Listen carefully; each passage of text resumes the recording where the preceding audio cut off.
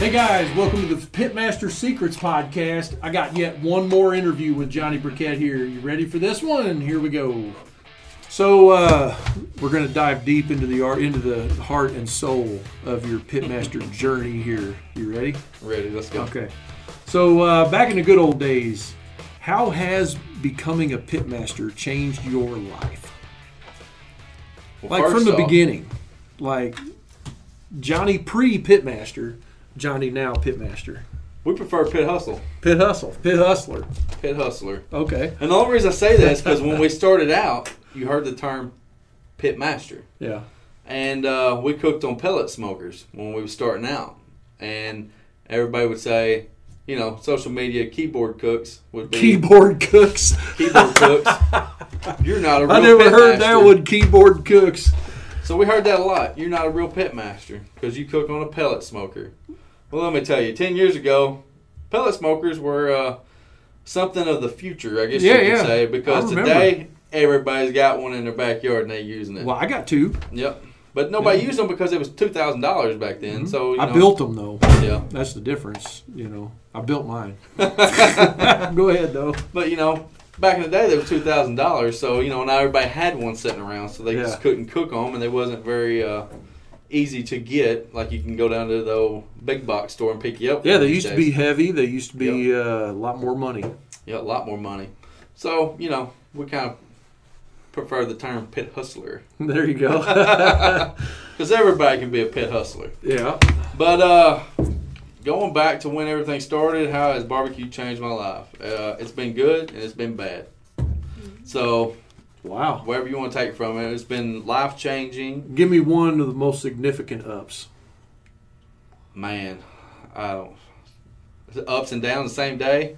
Uh, Oh, on in the barbe- same day. Going on barbecue pit masters was the highlight and the downfall of everything. So Hey, you'll actually see it. me on that episode back there. I'm, I'm all photo bombing like crazy Yep. back there. it was a highlight. Me and Forrester. and the downfall of everything. So you know, it always comes back to it. So that's pretty much where everything starts and where everything uh, begins and ends, all in one one take there. But you know, going back to the very beginning, not knowing anything to knowing stuff now, uh, the world of barbecue's changed in itself. hmm But Yeah, you know, for the uh, the barbecue journey, I got to say that's that's for a lot of pit masters, not just you guys, not just the you know Lulu's to pit hustler, Right. not just that journey, but there's a lot of people that uh, you know. It, back in the good old days when we were there and Pit- barbecue pitmaster started, and, and uh, you know we helped a lot of guys out with their pits or whatever that they had to do, and and uh, you guys were the ones we we spent the most time on and other shows too. But it seems like that that that that NASCAR, like we're going to be NASCAR barbecue, like the how the industry blew up.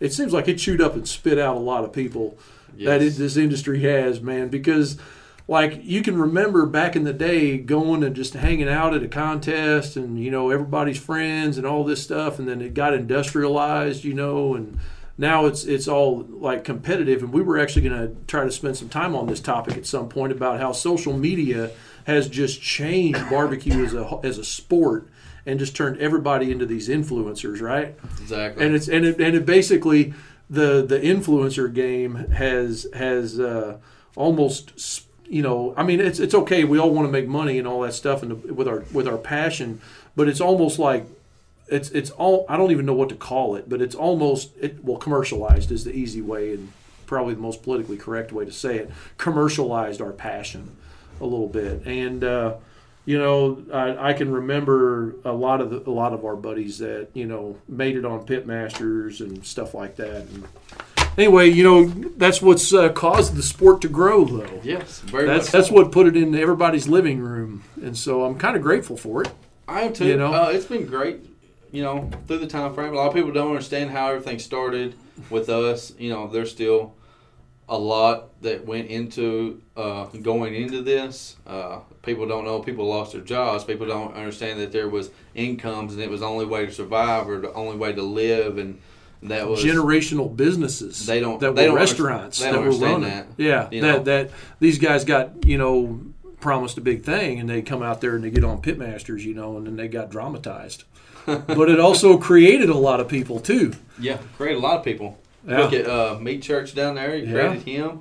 You know, Yeah. it created. I mean, a lot of people. If you look at those people that was on that show, are people of today that you're seeing. Yeah. Because it takes about five years to transition into into something or different things or however you want to brand yourself or move or you know just Yeah. like social media. You talking about that being an influencer. Pictures change everything. Yeah, Uh, we learned that early on. Is media is king.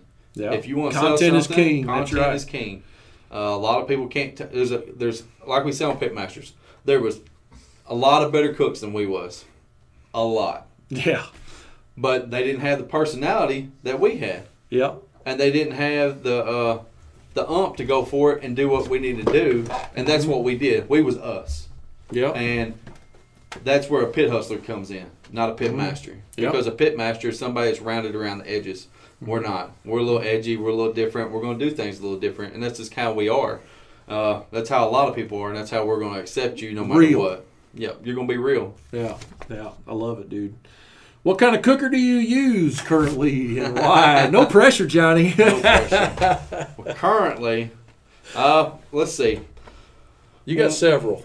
Yeah, we've got several cookers. We still have pellet smokers. Yeah. Uh, we've cooked on cabinet smokers. We've cooked on water smokers. Do you still have the big Traeger, We still have the big Traeger. Traeger 200? We've got some offset smokers.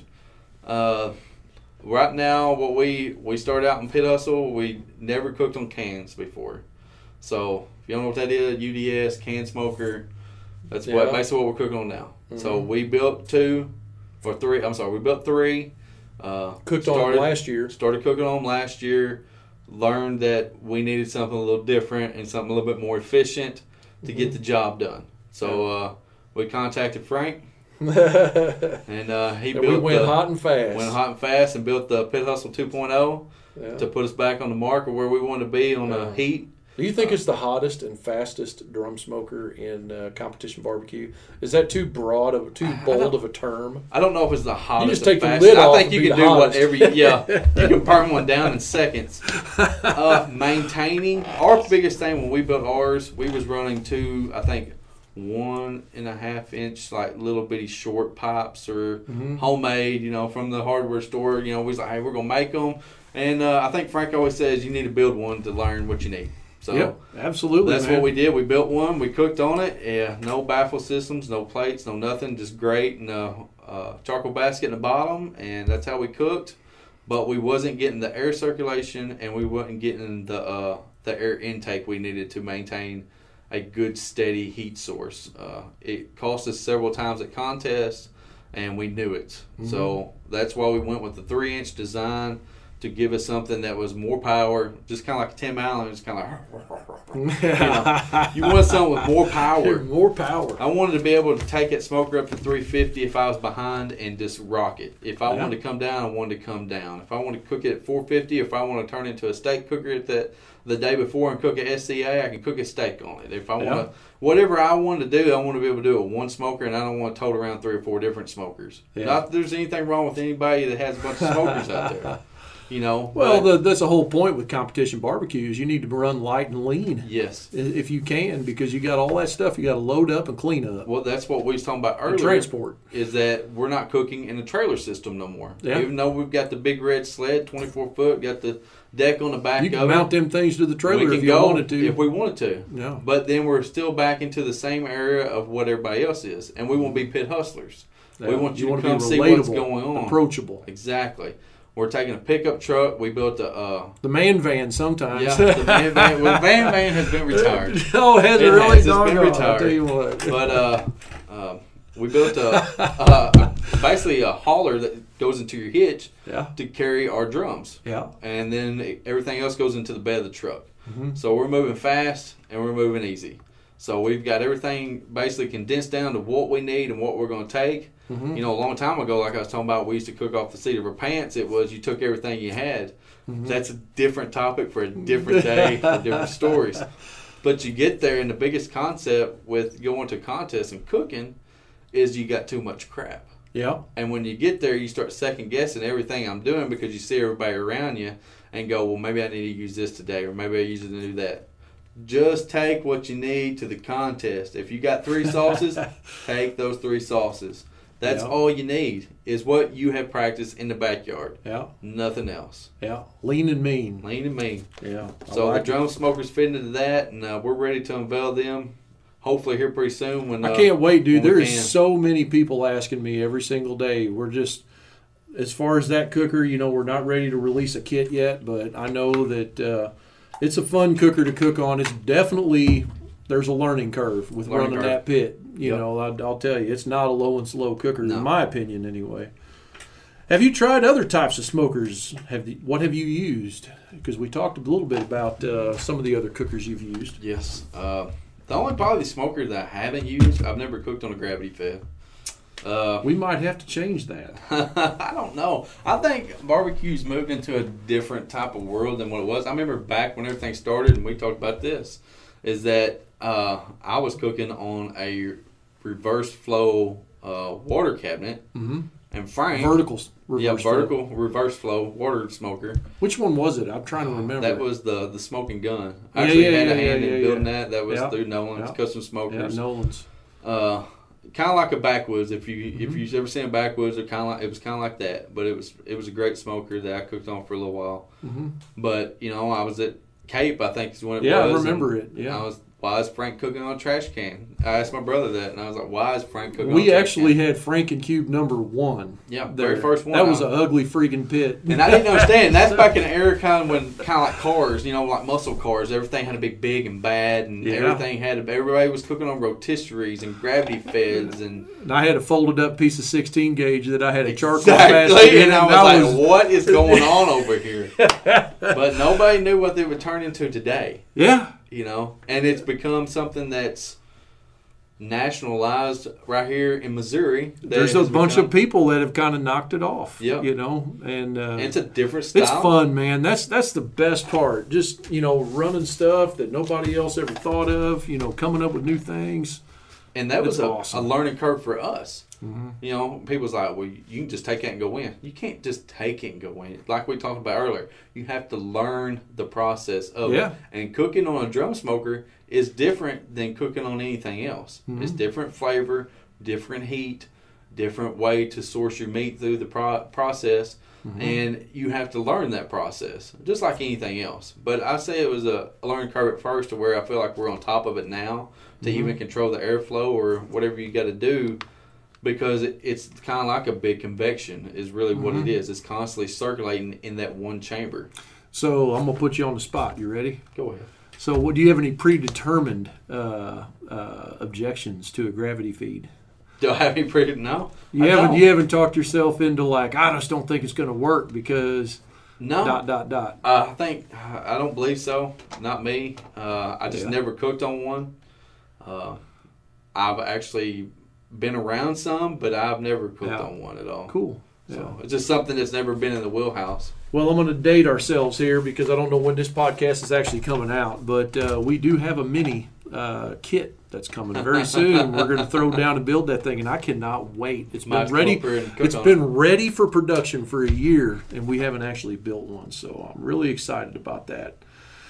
So, how often do you cook on your cookers? Right now, I've been actually doing a lot more cooking than uh, that I had been in the past. Uh, and I can say this: uh, I took uh, Chris Schaefer's uh, heavy smoke class Yeah. here this past winter. Mhm.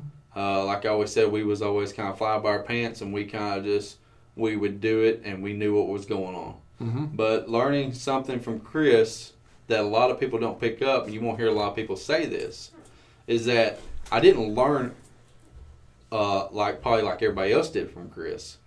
You know, Chris taught techniques and everything like that, but I didn't pick that up. I picked up was his drive.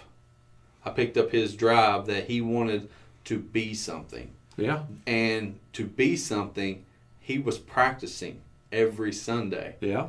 you know, and we got to some downtime to talk, but he was cooking every Sunday Mm-hmm. to be a world champion, to be the guy that you say, oh shit, he's here. Mm-hmm. I'm probably fixing to lose this contest. Yeah. And if you want to be in that circle, you have to practice Yep. and practice what you're going to do. Mm-hmm. And I think that put more of a perspective in it for me to say if I want to be more, then I'm going to have to invest more into myself instead of what I think I can do. Yeah. And go in and say, this is what I'm going to do. Oh yeah. Because confidence has the biggest uh, factor in anything. Mm-hmm. Uh, if I believe that I'm going to that contest and win, I'm probably fixing to win that contest. But if I'm doubting it going into the contest, I don't even need to be there. Yeah. There's no point of spending that money You set yourself up. you're setting yourself up for failure. Mhm. So if I know I'm gonna walk across that room and I'm gonna walk across that stage, it's a whole different ballgame walking into that contest than it is when I'm just showing up to have fun with the boys to Mhm. play it off as I didn't do very well today. Yeah. So if you want to win, then you need to practice. And Yeah. that- there's a lot of, you know, people talking about where things are rigged or things are this or, you know, certain people are going to win because of the way the computer system. I don't believe that's true anymore. I don't. Now, at one point, I kind of thought that there was a good theory behind it, but I don't. I think if you want to win, you have to find that one spot, and when you find that one spot, you're going to start winning contests. Mm-hmm. And when you start winning contests, that's when you start getting noticed. Yep. Yeah, man. Okay, here we go. Last one. How long does the meat from a cook normally last you? Not very long. Is that a loaded question? Uh, we talking about contest or we talking Yeah. about practice? Uh, let's talk about contest first. Uh, contest. I usually give it away. Do you? Other than the brisket, it gets eaten. Is that right? Yeah, the brisket's pretty good. I can brisket remember. always gets eaten or taken home. The pork or chicken always gets given away, Yeah. and uh, it never comes home or it goes in the trash can. I know it's hard to say when you're spending thirty dollars on a side of ribs, but after I just not selling it or anything like that, but brisket always seems to get eaten. Yeah. So, uh, how about practice meat? Practice meat. Mm-hmm. if you want to be a top cook, then you probably need to cook what you are going to turn in. Mhm. And honestly, me saying that, I'm not one of those guys because I'm just not. Once I find a timeline and once I find the spot where I want to be at, uh, find a meat that you can be consistent with. So if you're cooking IBP or Smithfield or whatever you can get local, Prairie Fresh, whatever, Swift, buy 10 of them. Mm-hmm. 10 butts, 10 sides of ribs. Cook those 10 until you find that point that you are looking for that you want to be at. Mm-hmm.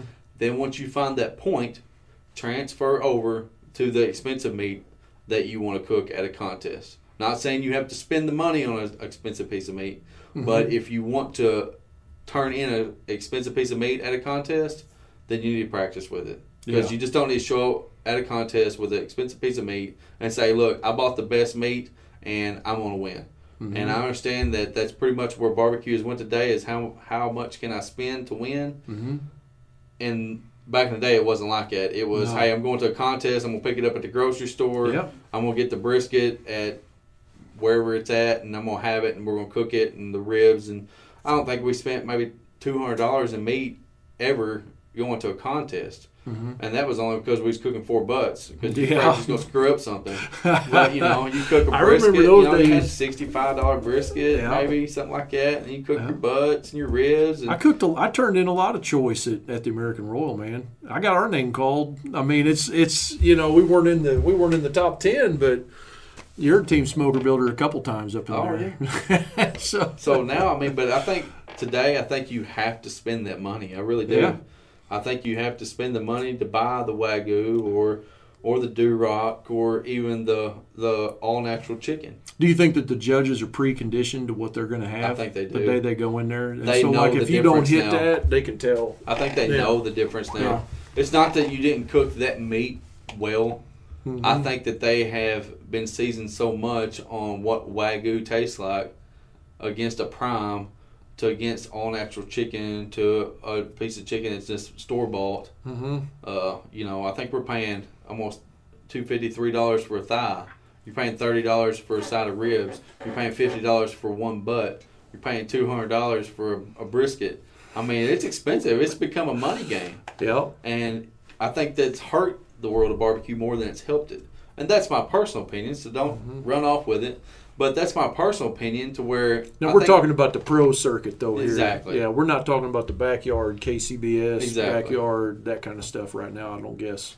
You think the backyard circuit's probably more fun now?